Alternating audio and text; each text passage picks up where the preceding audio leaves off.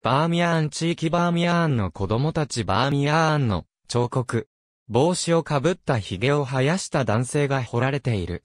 バーミヤーンは、アフガニスタンのほぼ中央部、カーブルの北西、約 240km に位置する、バーミヤーン州の州都である。人口は7万3200人。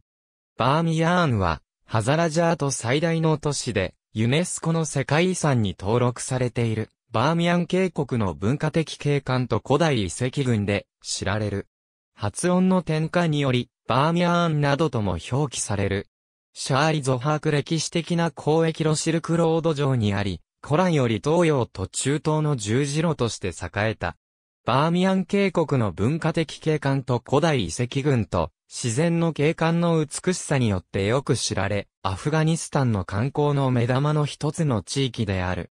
冬季には、スキーツアーも行われており、外国人ジャーナリストやスキー会社の支援を受け、アフガニスタン初のスキー選手もここで誕生した。多民族国家アフガニスタンの主要民族の一つ、ハザーラ人の文化的中核都市である。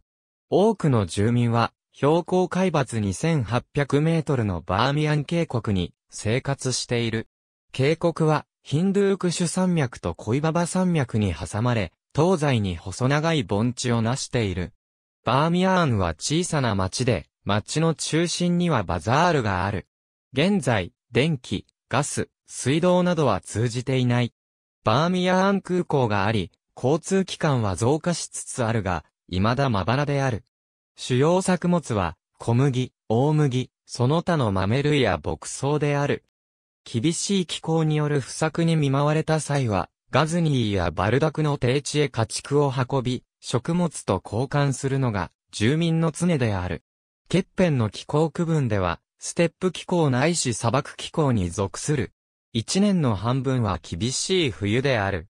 古代都市としてのバーミヤーンは、1219年に行われたモンゴル帝国攻撃と降伏後の徹底的な破壊により、一つのピリオドが打たれている。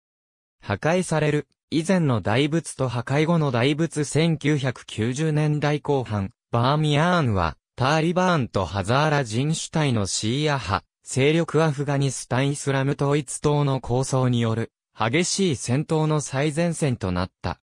1998年、ターリバーンの攻勢の前にバーミヤーンは陥落し、2001年3月には、ターリバーンは、バーミヤーン遺跡の2体の大仏を爆破して、国際的な非難を浴びた。しかし、同年のアメリカのアフガニスタン侵攻を受けて、11月11日にイスラム統一党が同地域を奪還した。2015年、南アジア地域協力連合の第1回文化首都に選出された。ありがとうございます。